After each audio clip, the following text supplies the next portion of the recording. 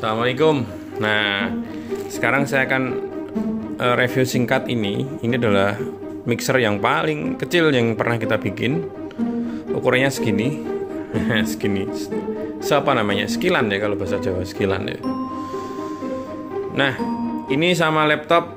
Laptop saya lebih besar laptop saya untuk untuk lebarnya. Untuk panjangnya, belakangnya tetap panjang ini. Tetap besar laptop ini.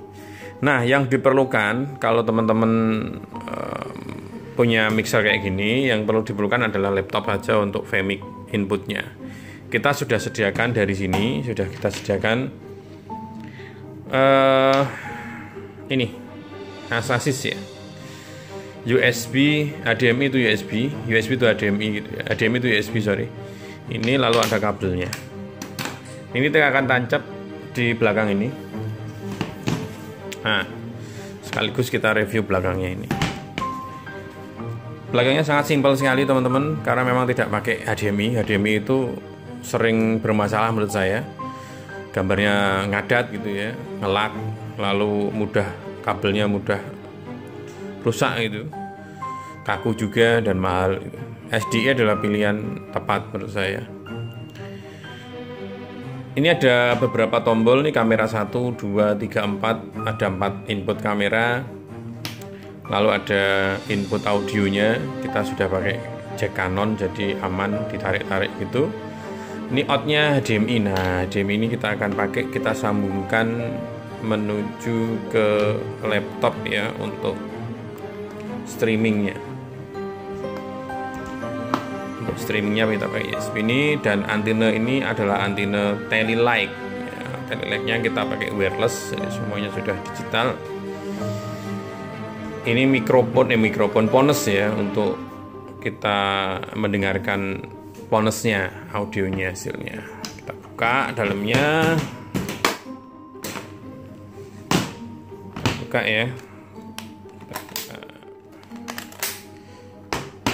Coba dipegang seperti ini dalamnya sangat simple.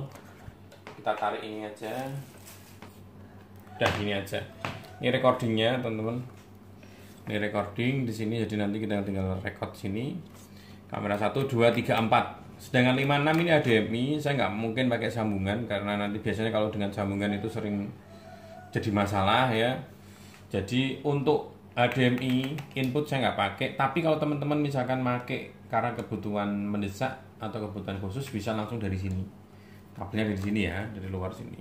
Dan ini ada rongganya untuk tampilkan HDMI itu sih simpelnya kayak gitu. Lalu kita akan praktekkan kita akan hidupkan uh, si mixer device wheel yang kita rakit semini kayak gini dengan input satu kamera dulu aja. Nanti kita langsung ke Vmic untuk kasih title logo dan lain-lain ya ikuti video ini sampai selesai. Nah ini sudah kita punya kamera MC 1500 yang sudah kita uh, rubah jadi SD out itu. Lalu mixernya ini dan laptopnya ini. Mixer ini 10 in setengah teman-teman. 10 eh bukan 10 in setengah 10,1 in ya. Kecil sekali. Lalu di bawahnya ada recording. Ini recordingnya bisa support 1080 60p jadi tinggal recordnya kayak gini tekan aja. Nah, merah itu berarti record jadi aktivitas uh, eh, PGM-nya ini kerekod semuanya. Uh, ini ada 1 2 3 4 dan sudah kita siapkan untuk tally like-nya. Ini kecil loh kadang orang lihatnya besar. Ini kecil sekali. Satu buku lah kayak gini. Ya dan coba kita akan setting uh, ininya apa namanya uh, si Vmic-nya ya kita langsung tancapkan di sini langsung kita pilih add input teman-teman. Add input dari Vmic kita pakai Vmic 220066 pilih kamera lalu pilih USB video. USB video kita bikin resolusinya itu 1080 70 720 ya. Palnya 50 mjpg kita pilih. Uh, audionya kita bikin built-in ya. Digital audio interface USB digital 2 jadi sekalian audio masuk di sini. Kita pilih OK. Nah ini sudah tampil dari tampilan uh, yang ada di sini. Coba kita akan play ini ya.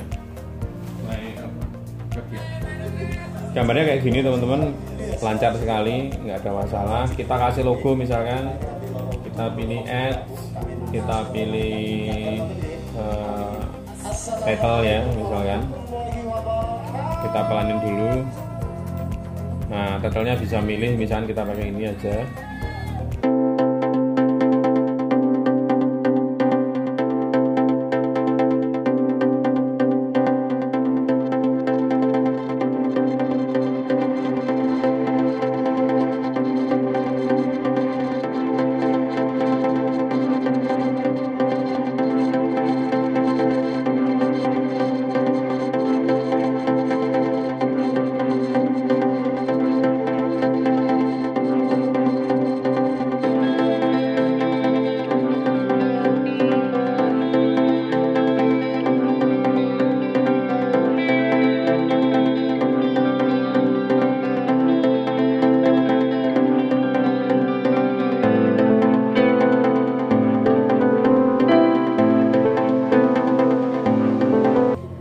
sudah ada overlay uh, titlenya kita kasih rolling tag misalkan.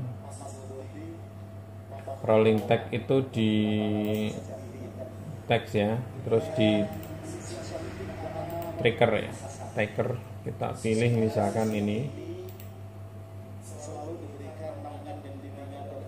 Ini nomor 2 kayak gini ya ini kalau kurang ke atas misalkan yang yang ini kita bisa tarik atas dengan cara klik di setting. Lalu posisinya kita atur kita kecilin dikit. Kayak gini ya.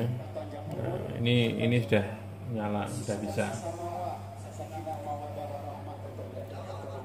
Kayak gini jadi lebih praktis kita ke bawah ke mana-mana karena memang ini sangat kecil ini kecil. Laptop ini sama ini dengan satu tas ini sama ini satu tas saja udah cukup gitu. Nah ini kabelnya yang kurang bagus.